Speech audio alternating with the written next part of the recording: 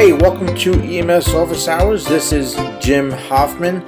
Guys, thanks for joining me for another episode of the Monday Minutes. Listen, um, we are rounding out uh, the Monday Minutes, the quick study uh, guide video series here. We've got maybe two more after this. We've got abdominal trauma today I'm going to cover, and then we're going to get into extremity trauma. And that's to probably be two sessions because it's kind of a, a, bigger section than this.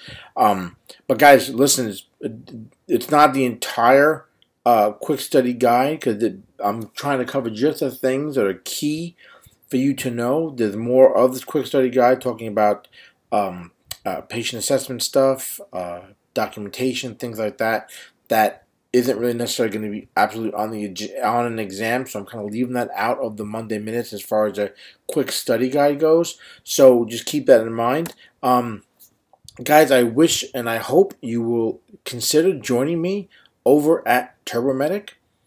It is an insider membership there, guys. It's a free membership that I encourage you to join me. Um, just go to emsseo.com forward slash insider. There are gigabytes of digital content you can use to help improve your knowledge and pass exams, including a few practice exams, hours of audio and video, and of course, exclusive access to the Facebook group there. So um, join me there. Again, it's a free membership, and uh, you can get some more content there to help you be, be a better EMS professional. Now, guys, of course, I always like to start out these videos asking why this is important, right? Because I don't want you to think this stuff is just for exams. Okay, and as we go on, even after the quick study guide stuff is done and I keep doing Monday minutes, I'm going to be talking about things that are important for you to build your knowledge base, to make better better clinical decisions, to write better reports, right? And of course, it's going to be key information that will help you pass exams as well. All right, so it all kind of ties in together. So my hope is that if you, something doesn't click here for you, you don't quite understand it, that you'll open up your textbook, you'll use a resource like TurboMedic, and go ahead and take advantage of that stuff. Okay, let's get into today, guys. Again, talking about abdominal trauma. And, you know, this region, guys, very hard for us to identify problems, right? Difficult to assess. All right, and a lot of times when we have abdominal trauma injuries, it is unrecognized for us. All right, but it's also a big part and a big cause of death in trauma patients because we don't see it, we don't recognize it. Okay, and this is why transport to a trauma center is your patient's best bet.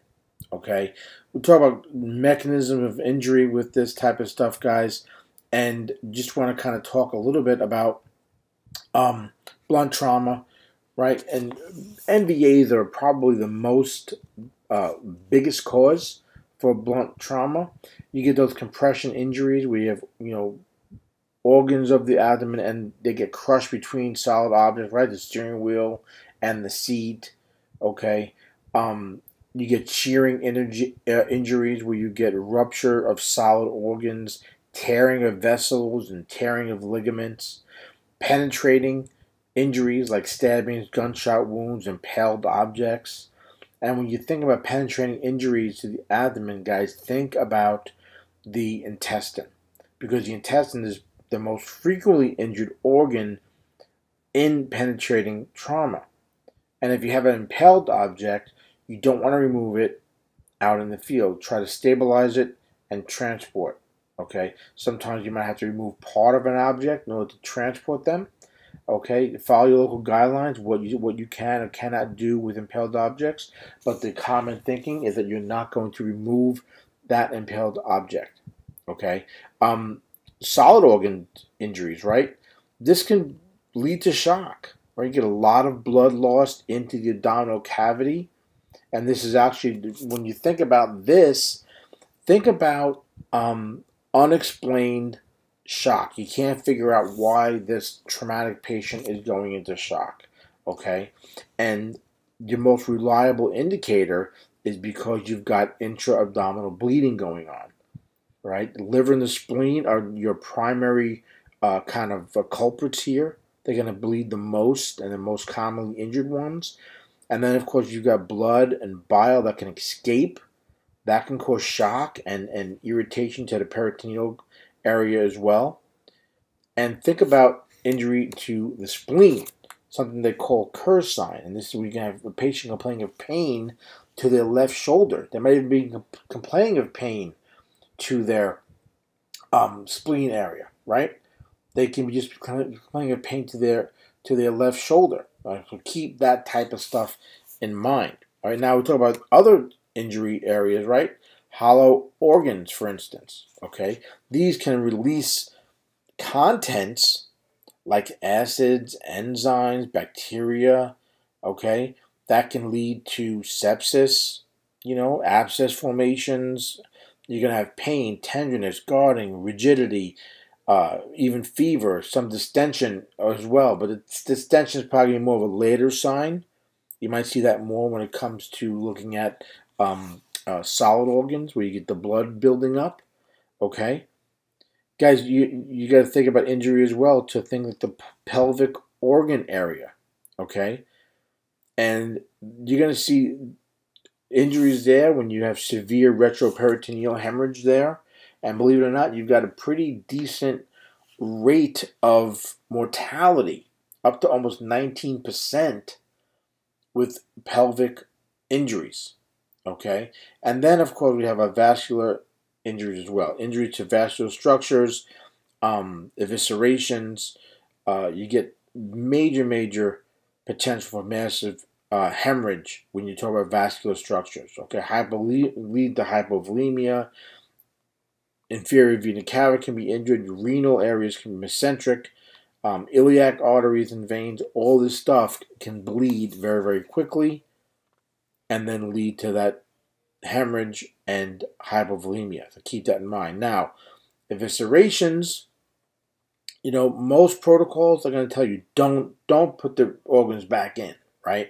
That's going to cause for infection, things like that. But depending upon protocol, the most common one is you're going to cover it with a moist, sterile dressing and then pad that with dry dressings.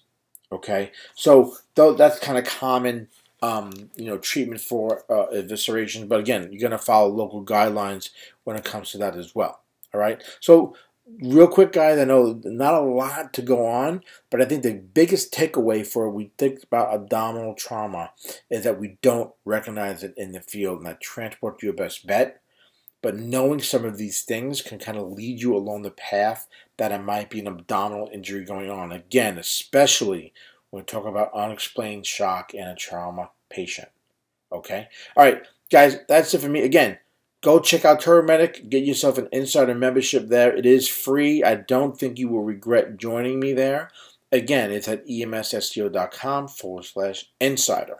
And guys, please be sure to connect with me on social media. You can get me on social media at EMS Safe on both Instagram and Twitter.